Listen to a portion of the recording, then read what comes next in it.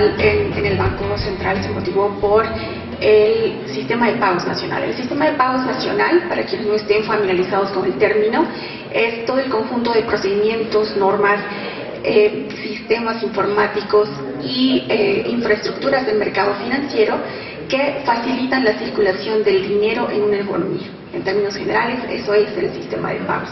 Y la firma digital lo que hace es darle seguridad eh, jurídica a todas las transacciones que se realizan en el sistema de pagos electrónicos. Actualmente, y como les comentaba, desde el año 2004 que operamos este sistema, y ante la ausencia de un marco normativo nacional que regulara el uso de la firma digital como existe hoy, fueron otros los, los eh, elementos y los, los, los, sustentos jurídicos bajo los cuales el Banco Central de Bolivia emitió normativa específica para el uso de lo que se denominaba firma digital en el sistema de pagos. La ley del Banco Central de Bolivia lo faculta a emitir políticas en materia de sistema de pagos, eh, entre otras entre otras políticas, y a emitir normativa específica para cumplir con, el objeto del banco.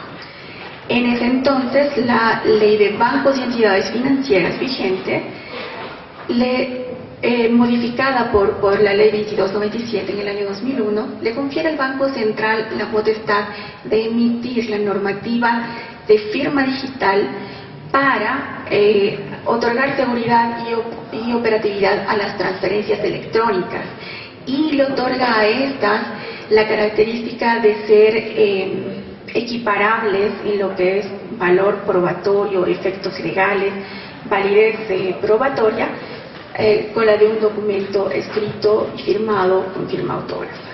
Desde entonces ya se reconoce la validez de los instrumentos, de los de los documentos electrónicos en el sistema financiero boliviano. El ámbito de aplicación es eh, todas todos los documentos electrónicos firmados digitalmente en el, en el, sistema de pagos, en todos los sistemas que ya les había comentado.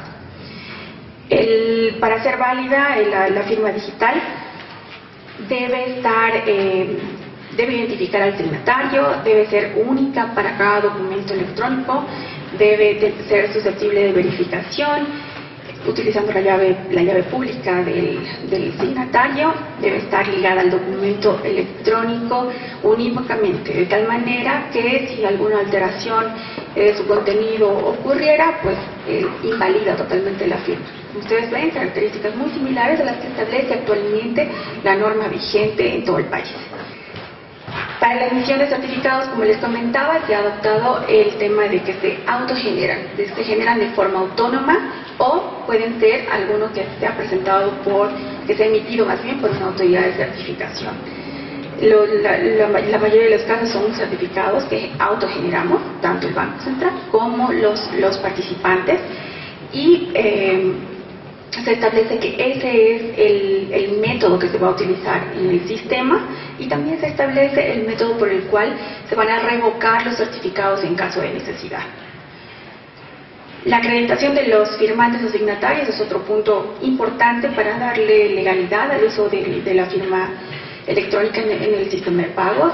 Esto se hace a través de poderes. Las entidades del sistema financiero emiten poderes especiales a quienes pueden firmar los documentos electrónicos en el, sistema de pagos.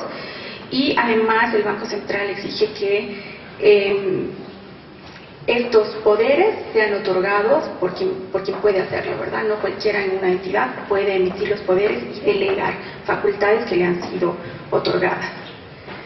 El otro instrumento el que les comentaba es la guía operativa informática del sistema. Es una guía donde se establecen básicamente procedimientos y detalles eh, mucho más específicos relacionados con la operativa en el sistema. Se establecen, por ejemplo, horarios de las transacciones, el contenido de los mensajes electrónicos, una codificación que se le asigna a los tipos de, transacciones que se realizan en, el sistema y eh, es importante mencionar que este documento forma parte del contrato, forma parte indisoluble del contrato y puede ser modificado a necesidad por la Gerencia General del, Banco Central. Entre los puntos importantes que establece, que establece la guía están los relacionados con el certificado digital, que ya les había comentado, se, pueden autogenerar los certificados.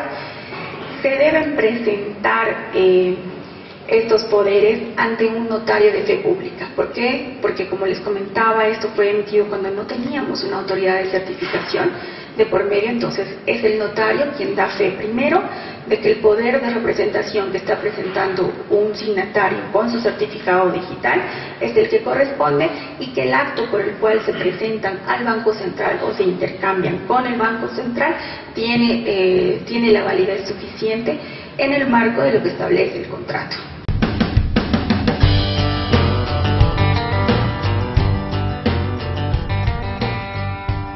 Describiendo un poco más sobre el uso de los certificados digitales, vamos a señalar que eh, los mismos cumplen el estándar 509. está establecido que la longitud mínima de, la clave pública es de 2048 bits con el algoritmo RSA y el algoritmo de firma eh, SHA-256.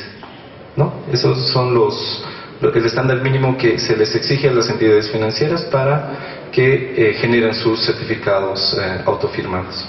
Bien, ahora vamos a describir eh, de manera general cómo es que se hace la firma de una transacción electrónica que implica la transferencia de, una, de un traspaso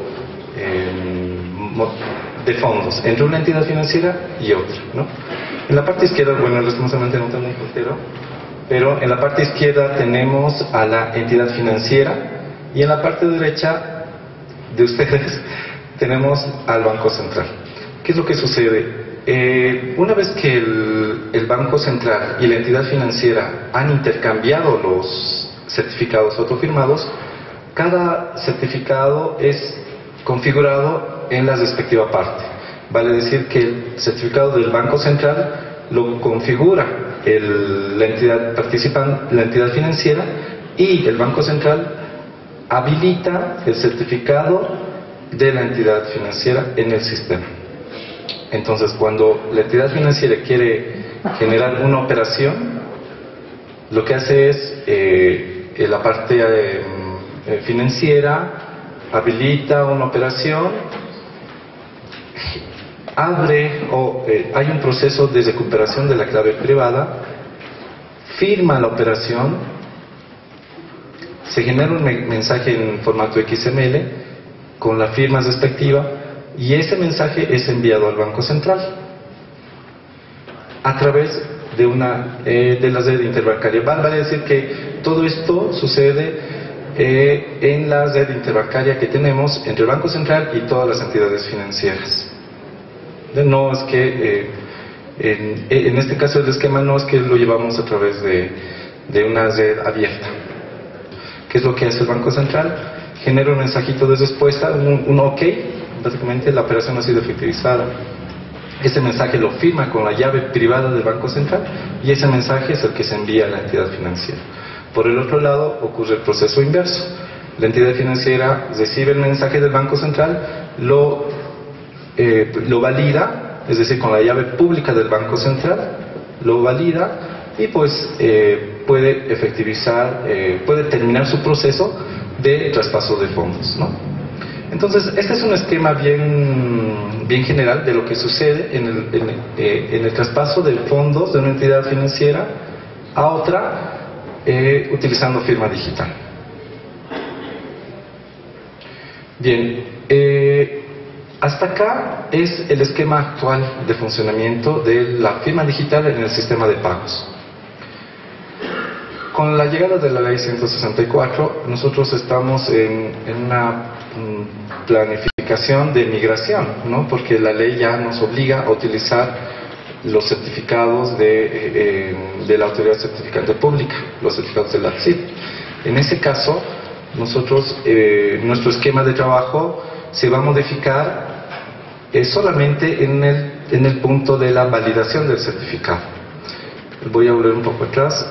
Cuando nosotros recibimos el mensaje de la entidad financiera, nosotros en, el, en la etapa de verificación del mensaje verificamos que el certificado de la entidad financiera es válido. y lo hacemos bajo mecanismos propios. Pero cuando usemos eh, los certificados de la entonces nosotros ya no vamos a verificar esos certificados con, nuestros mecanismos propios, sino los vamos a contrastar con la información de la. Ah, para continuar y para ver eh, la relevancia del uso de este mecanismo en el, en el sistema de pagos nacional, les queríamos mostrar algunas estadísticas de lo que se procesa actualmente a través del sistema. Este, este gráfico nos muestra el valor de las operaciones eh, procesadas en el sistema de pagos nacional, que como ustedes pueden ver en el 2016 alcanzan alrededor de 800 mil millones de bolivianos en el año.